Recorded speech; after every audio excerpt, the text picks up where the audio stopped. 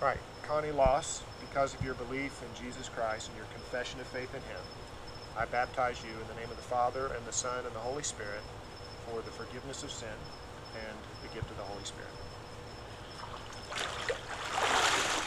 All right.